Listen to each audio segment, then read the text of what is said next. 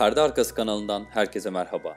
Bugün Harry Potter ve Melez Prens filminin perde arkasını sizlerle paylaşacağız. Harry Potter ve Sırlar Odası'nda Tom Riddle'ı canlandıran Christian Coulson, bu film için yeniden Tom Riddle olarak geri dönme isteğini dile getirdi. Ancak filmin yönetmeni David Yates, Coulson'ın bu filmde 30'a yaklaşan yaşı ile bu rol için fazla yaşlı olduğunu söyledi. Horace Slughorn'un kıyafetleri çok zengin ve zarif görünmek için tasarlanırken aynı zamanda eski ve yıpranmış görünmesi amaçlandı. Kostümlerin yıpranmış ve uzun yıllardır giyilmiş gibi düşünülmesini sağlamak için toz bir solüsyonda yıkandı. Hogwarts'taki Quidditch, Harry Potter ve Ateş Kadehi'nde tamamen yok olduktan sonra büyük bir dönüş yaptı. Harry Potter ve Sırlar Odası'ndan beri tam bir Quidditch oyunu oynanmamıştı. Kitapta yer almayan 3 yeni sahne eklendi. Filmin başında görünen çöken Milenyum Köprüsü, Harry'nin Dumbledore ile buluşmadan önce metro istasyonundaki garsonla flört edişi ve ölüm yiyenlerin Barrow'daki saldırısı. Horace Slughorn'un filmdeki görünümü kitaptaki açıklamasından muhtemelen başka herhangi bir karakterden daha fazla farklıdır. Kitabın içinde bıyıklı, son derece şişman ve kel olarak tanımlanıyor. Filmde sadece biraz fazla kilolu olarak tasvir ediliyor. Saçı sadece biraz inceliyor ve bıyığı veya sakalı bulunmuyor. Görüntüsünün aksine karakteri kitaptakinin tanımına oldukça benzer. Slughorn hem kitapta hem de filmde biraz kurnaz ve fırsatçı olarak tasvir edilmiş olsa da Slytherin'lerin geleneksel karakteriyle soğuk ve sempatik olmayan dost bir adamdır. Film çekimleri Harry Potter ve Sırlar Odası'ndan bu yana ilk kez Gloucester Katedrali'ne döndü. Gece sahneleri Leykok köyünde ve Leykok Manastırı'nda 25-28 Ekim 2007 tarihlerinde 3 gecede çekildi. Çekimler akşam 5'ten sabaha karşı 5'e kadar gerçekleştirildi. Çekimlerin olduğu sokaklarda oturanların camlarını karartması istendi. Diagon Ali'de kestaneleri ıstırken görülen minik ejderha, Harry Potter ve Ateş Kadehi'ndeki Triwizard turnuvasının ilk görevinde Harry'nin karşılaştığı Macar boynuzunun minyatür versiyonudur. Hagrid ve Slughorn'un içerken söyledikleri şarkının adı Kahraman Odo. Bu şarkının sözlerini de kitabın yazarı J.K. Rowling yazmıştır. Filmin başında ölüm yiyenler Londra'daki Millennium Köprüsü'nü imha ediyorlar. Kitabın zaman çizgisine göre bu sahne 96-97 yılları arasında geçiyor. Fakat Millennium Köprüsü 1998 yılında inşa edilmeye başlandı ve 10 Haziran 2000'de açıldı. Mr. Weasley'nin Muggle'ların eşyalarını döktüğü sırada diğer şeyler arasında 2 adet Remington gürültüsüz taşınabilir daktilo ve bir HP LaserJet 4 yazıcı bulunuyor. Kitabın başında yer almalarına rağmen Dursley'ler bu filmde görünmez. Bu Harry Potter ve Ateş Kadehi'nden sonra Dursley'lerin dışarıda bırakıldıkları ikinci film. Tom Riddle'ın yetimhanesi Liverpool Docklands binalarına dayanıyor ve Victoria mimarisinden etkileniyor. Nitekim yetimhanenin dışında sete çok sert bir yapı kazandırmak için orijinal Victoria mimarisi tuğlaları kullanıldı. İhtiyaç odası yakınında görülen Goblen, tek boynuzun avı serisinin yedincisidir.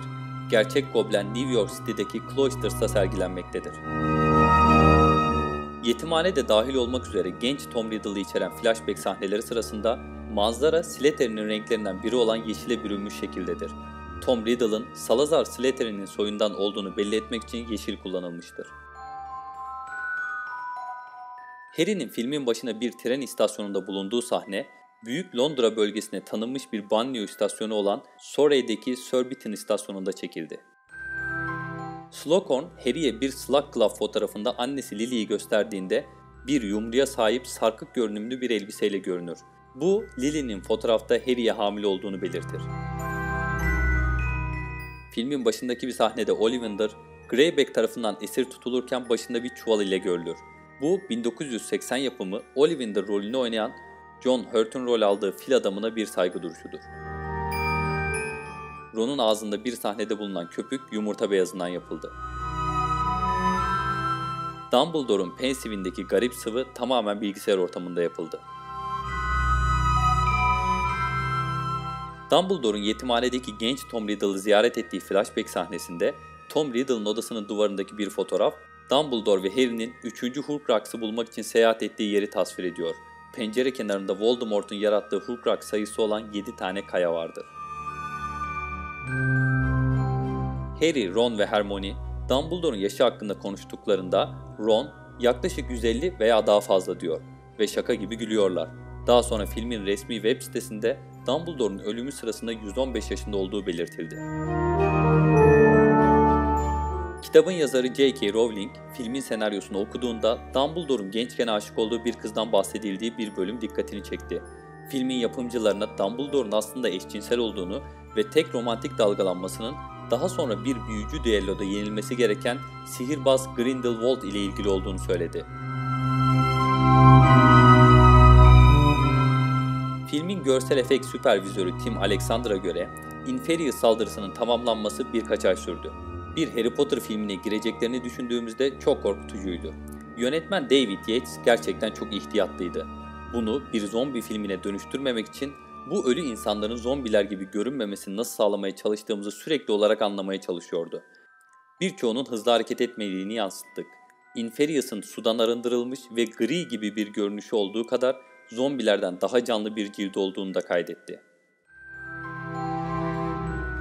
Filmin son bölümünde Harry'nin oğlu Albus Severus Potter'ı oynayan aktör Arthur Bowen. Bu filmde bir standta kavrulmuş kestane satın alırken görülebilir. Draco Malfoy, Hogwarts'a giden trende kendimi astronomi kulesinden atacağım diyerek filmin sonunda Dumbledore olanları anlatıyor. Maggie Smith filmin çekimlerinin ardından meme kanseri tedavisi için radyoterapi gördü. Lord Voldemort'un 11 yaşındaki hali olan Tom Riddle karakterini Voldemort'u canlandıran Ralph Fiennes'in yeğeni Stephen Fiennes canlandırdı. Yönetmen David Yates, Tiffany'nin bu rolü almasının tek sebebinin Ralph'ın yeğeni olmasından değil, genç oyuncunun karanlık yönünü beğenmesi olduğunu ifade etti. İlk iki Harry Potter filminin yönetmeni olan Chris Columbus, Daniel Radcliffe, Emma Watson ve Rupert Grint'in ne kadar güzel bir şekilde başlayıp sonra da bunu kaybederek her geçen filmde kötü birer aktöre dönüşmelerine şaşırdığını söyledi. Filmin kayıtlarına göre Voldemort 1926 yılında doğdu. Daniel Radcliffe'in bu seride en az sevdiği kendi performansı bu filmdeki performansı. 2014 yılında bir röportajda bu filmdeki performansını izlemesi zor olarak nitelendirdi. Filmin yönetmeni David Yates bir röportajda bu filmdeki kullanılan renk paleti ve aydınlatma yöntemlerinde Hollandalı ressam Rembrandt'tan çok etkilendiğini belirtti. En iyi sinematografi Oscar'ına sahip tek Harry Potter filmi. Bu filme farklı bir bakış katmak isteyen David Yates, çoğu zaman belirgin toprak tonlarına sahip olan stilize renk paletlerini kullanmasıyla tanınan Fransız görüntü yönetmeni Bruno Delbonnel'ı seçti. İlk olarak film kapsamlı bir şekilde renklendirilmişti. Aşırı karanlık tonlar nedeniyle Warner Bros. Yates ve Delbonnel'dan filme daha fazla renk katmasını istedi. Hem Yates hem de Delbonnel bunu ilk başta yapmakta tereddüt etti. Ancak bazı sahneleri rötuşladıktan sonra Delbonnel derecelendirmeyi aşırı kullandığını ve son ürünün daha iyi olduğunu fark etti. Bu da filmi en iyi sinematografi Oscar'ını alan tek Harry Potter filmi yaptı. Timothy Spall dördüncü kez Wormtail oynadı. Bu filmde tek bir diyalog sahnesi dahi yoktu. Kitabın yazarı Rowling, buraya kadar ki 6 kitap uyarlamasının arasında bu filmin favorisi olduğunu söyledi. David Yates, Chris Columbus'tan bu yana birden fazla Harry Potter filmi çeken ilk yönetmen. Warner Bros. filmi pazarlamak ve dağıtmak için tahmini 155 milyon dolar harcadı. Marcus Belby'yi canlandıran Robert Knox, 24 Mayıs 2008'de trajik bir şekilde filmin çekimlerinin ardından bıçaklanarak öldürüldü. Knox bir bar çıkışında kardeşini saldırganlardan kurtarmak isterken kalbinden bıçaklandı ve hayatını kaybetti. Eğer videolarımızı beğeniyorsanız kanalımıza abone olmayı unutmayın. Ayrıca Facebook, Twitter ve Instagram'dan bizi takip edebilirsiniz. Bir sonraki bölümde görüşünceye dek hoşçakalın.